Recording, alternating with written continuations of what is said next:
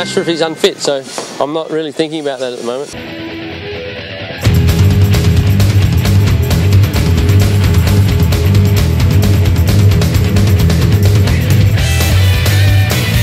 ফিজিওই বলবে ফিটনেস নিয়ে আর কোচের কোচ তো বলবে পারফরমেন্স নিয়ে